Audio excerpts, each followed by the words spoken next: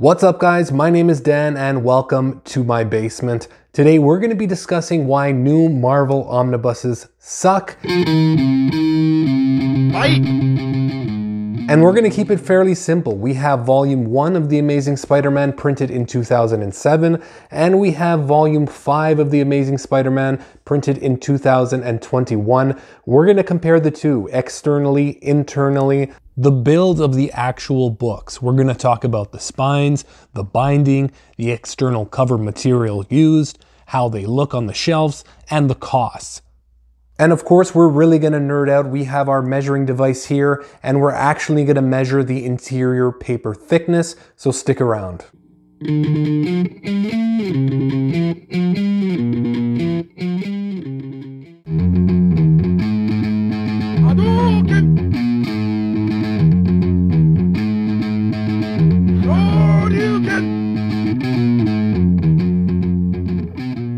So right off the bat, you can notice some very obvious differences, and that is the book thickness between the two. So I whipped out my handy vernier caliper, and I measured volume 1 at 3.175 inches, and volume 5 at 1.575 inches. Volume 1 has 200 extra pages compared to Volume 5, but even though it has 20% more content, Volume 5 is 50% less thick.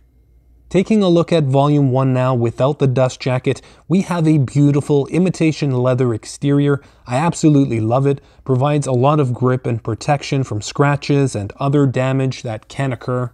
Some very large font size on the spine here, Marvel Omnibus in silver at the top with the number 1 at the bottom with author names. The back is just plain. Cracking it open, we have some beautiful thick marble bookend pages Right from the start, you notice some very thick interior paper, some of the thickest I've ever encountered actually. How thick you may ask? Well, we're talking 500 thousandths of an inch thick, and that's pretty damn thick. Here's a look at the very flexible eye in the binding. Moving on to volume 5 now, externally we don't get that nice exterior imitation leather we got with volume 1. Instead we get a very sensitive and easily scratchable matte finish exterior that for some reason is heavily scratched as soon as you take the dust jacket off, right from new. On the back we do get a Spider-Man logo. Internally for bookend pages we get a similar matte finish, easily scuffable and very thin this time no marble finish. Like with volume 1, unfortunately, as for the internal pages, they are extremely thin. How thin you might ask? Well, they are half as thick as volume 1's, coming in at only 205 thousandths of an inch. Yes, you can actually see through to the next page, most noticeably in the white sections of pages, and not only the white page borders either. Huge difference with the thickness. The book, however, does lay flat, right from the beginning like the first volume does. The binding is less flexible with a smaller eye. Which one is more durable? In the long run, only time will tell. Even with all these negative changes, the prices have not changed. And finally, the last reason I have for why new Marvel Omnibus suck is the small font size on the spine, which I'm sure a lot of you agree with. Please tell me why the hell they did this. The only reason that I can think of was to accommodate the smaller thickness of these new books since they are cheaping out on the overall paper thickness. Therefore, a larger font would not fit on these new books.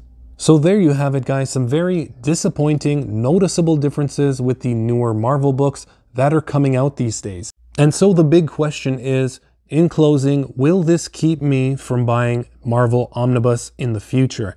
And the short answer is no, but I will not pay full price for them.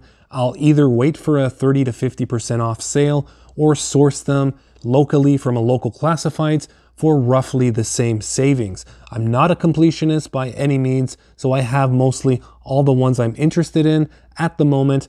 I am grateful to own this content in collected editions and enjoy some of the decisions Marvel is making in terms of new collected content, but let's face it, the quality is not holding up. So thanks for watching this video, make sure to subscribe if you're into this kind of content, and we'll see you next time guys, take care.